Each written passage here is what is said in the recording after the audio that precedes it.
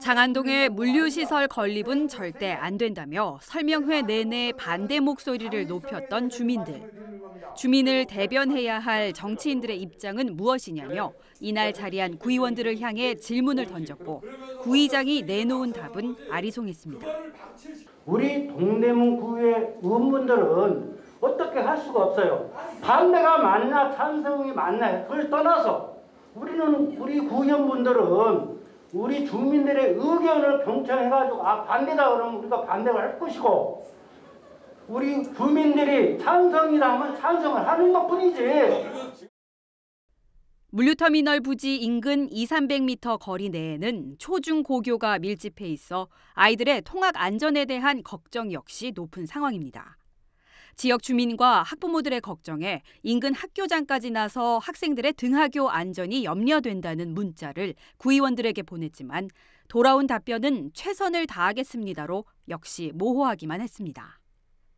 지역에선 물류터미널 인근의 아파트 입주자회와 맘카페 회원들을 중심으로 장안동 물류터미널 건립 반대 대책위원회가 꾸려졌고 주민 서명 운동을 진행하고 있습니다. 저희가 무조건 다 반대하는 게 아니고요. 무조건 개발은 해야죠. 개발은 해야 되는데 다른 건 다 들어와도 되는데 물류센터만은 저희가 절대 안 된다고 반대를 하는 입장이에요.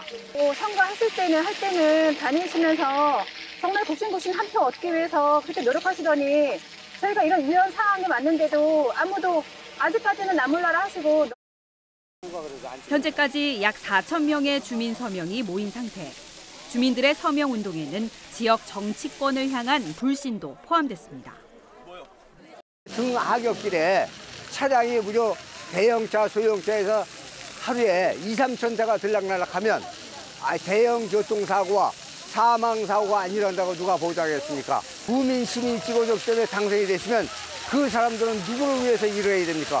지역 주민을 위해서 일을 해야 함에도 불구하고 주민들은 지역 아파트와 학교, 지역 단체 등의 협조전을 보내는 한편 주민 서명안을 동대문구와 서울시에 제출하겠다는 계획입니다.